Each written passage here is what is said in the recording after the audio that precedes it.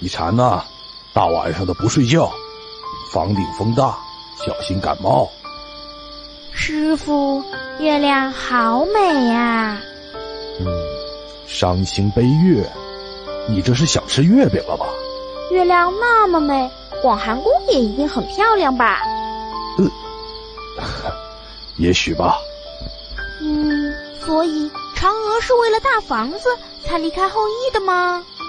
哈哈，一禅，你听故事也不专心。嫦娥是为了长生不老才……嗯，嫦娥是为了追求幸福才离开后羿的。所以，幸福就是大房子吗？嫦娥未必是想要得到什么，也许她只是想要离开什么。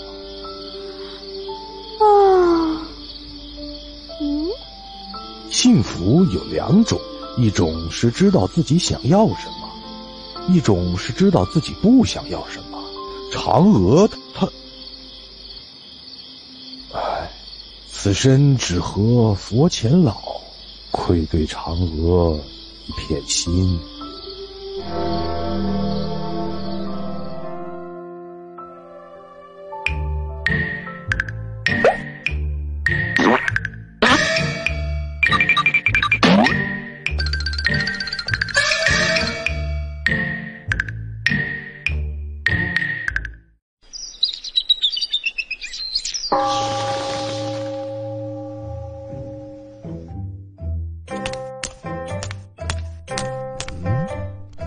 禅啊，大殿那边怎么乱哄哄的？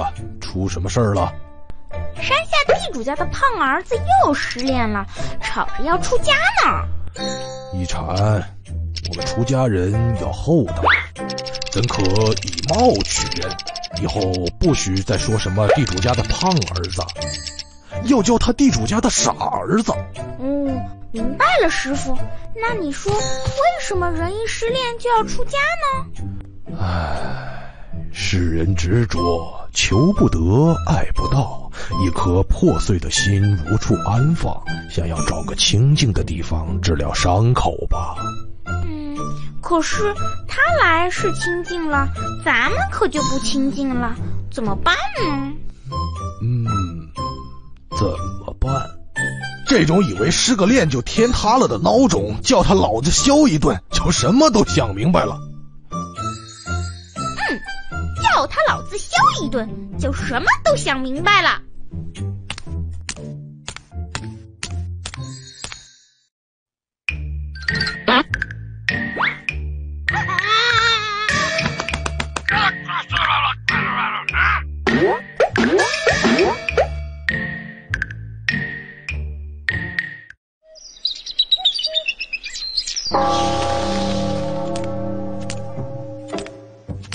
一禅，有人找。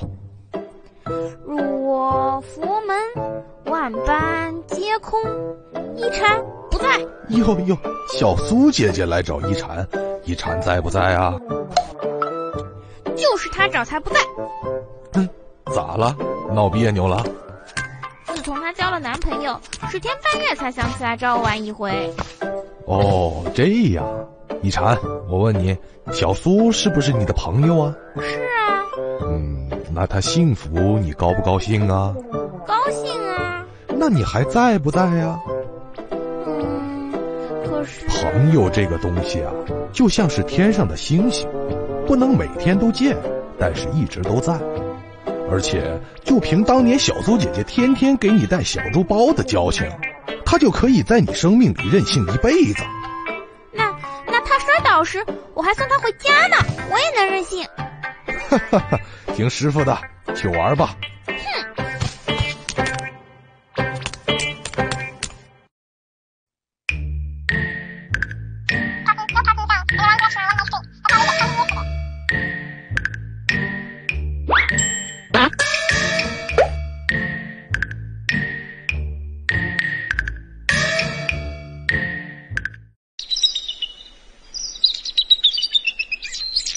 一禅呐，看到为师的为师的茶壶没？哎，你你你干嘛呢？我在给自己浇水呢，这样我就能长大的快点。哟哟，这是哪位天才告诉你的偏方啊？嘿嘿，是我自己领悟的。我看小树和庄稼都是这么长起来的呀。你为什么这么想长大呀？长大多好啊！不用背书考试，还可以教训小孩子。他要是不听话，就罚他挑水、打扫院子。唉，要是我一生下来就是个大人，该多好啊！师傅，你说呢？嗯，其实也没那么好了。不用考试，但人生的考验可不会结束，那可比考试难多了。至于大人教训小孩子嘛，唉，很多时候可能只是出于羡慕嫉妒吧。师傅，你是不是想当小孩子？正好一禅想当大人，要不我们换一下吧？这个一禅呐，为师的水壶空了，去给为师挑两桶水来。哟哟哟，小屁孩就不能学为师点好的？哟，还敢跟我顶嘴？看为师挠死你！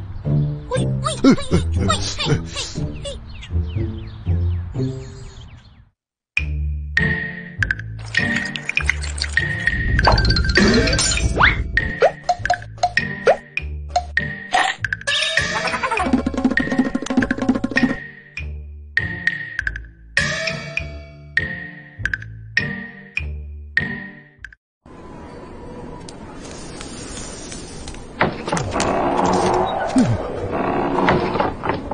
哎呀，去火炉那儿再添点柴。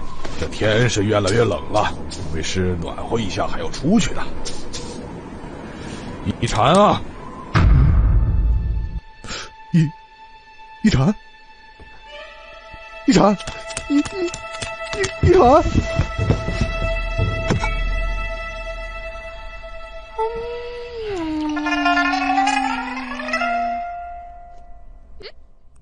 你回来啦！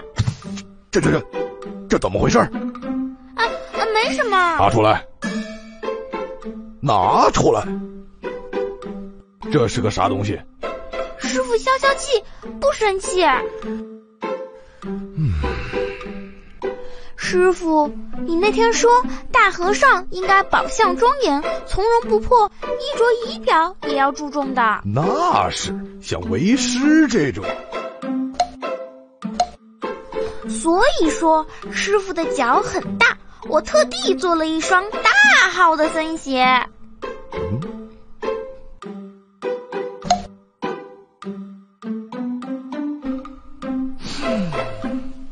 嗯师傅，我不该弄乱房间，乱涂乱画。哈哈，没关系，你缠着礼物，师傅喜欢。今后天冷出门就不动耳朵了。一禅啊，快起来，跟师傅下山。好，阿德，你脑袋上戴的什么东西啊？保暖。呦呦，是小孩子玩的布老虎。哈哈哈，好看。